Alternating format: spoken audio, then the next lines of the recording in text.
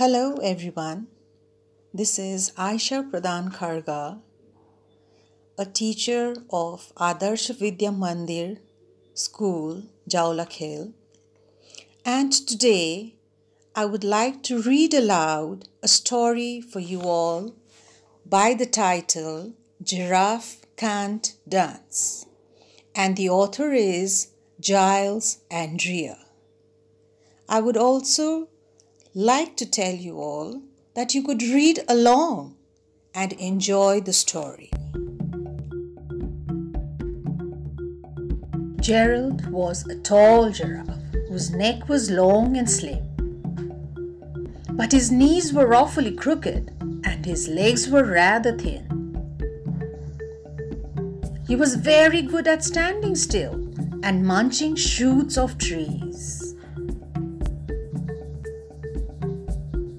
But when he tried to run around, he buckled at the knees.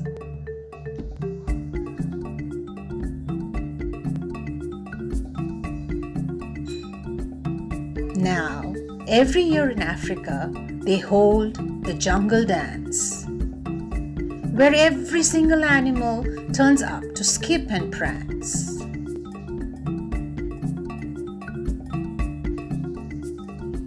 And this year, when the day arrived, poor Gerald felt so sad. Because when it came to dancing, he was really very bad. The warthog started waltzing, and the rhinos rock and rolled. The lions danced a tango that was elegant and bold.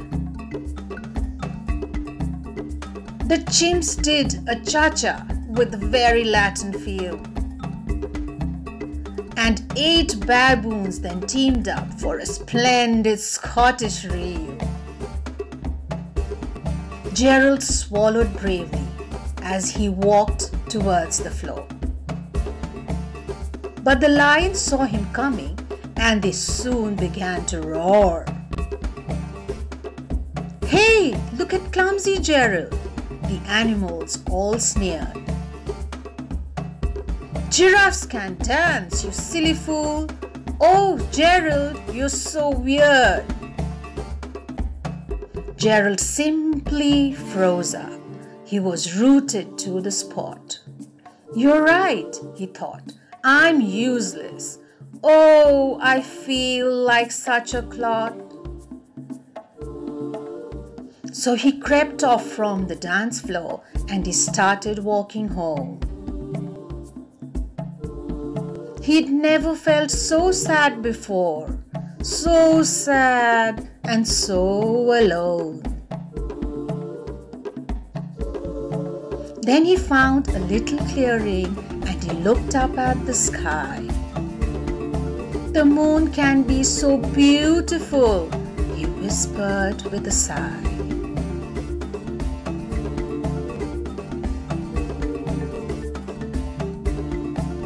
Excuse me, coughed a cricket who'd seen Gerald earlier on. But sometimes when you're different, you just need a different song. Listen to the swaying grass and listen to the trees. To me, the sweetest music is those branches in the breeze. So imagine that the lovely moon is playing just for you. Everything makes music if you really want it to. With that, the cricket smiled and picked up his violin.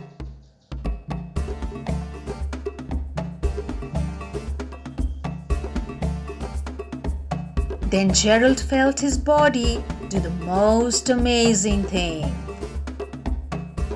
His hooves had started shuffling, making circles on the ground. His neck was gently swaying and his tails was swishing around.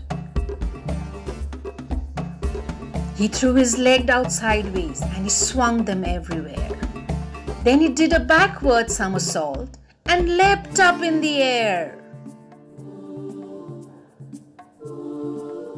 Gerald felt so wonderful, his mouth was open wide. I'm dancing! Yes, I'm dancing! I am dancing! Gerald cried. Then, one by one, each animal who'd been there at the dance arrived while Gerald boogied on and watched him quite entranced. They shouted, It's a miracle! We must be in a dream.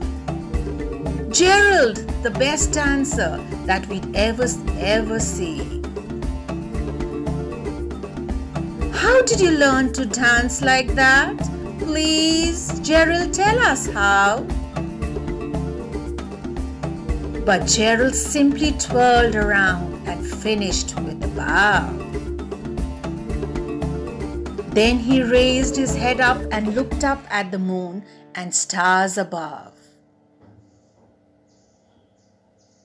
We all can dance, he said, when we find music that we love.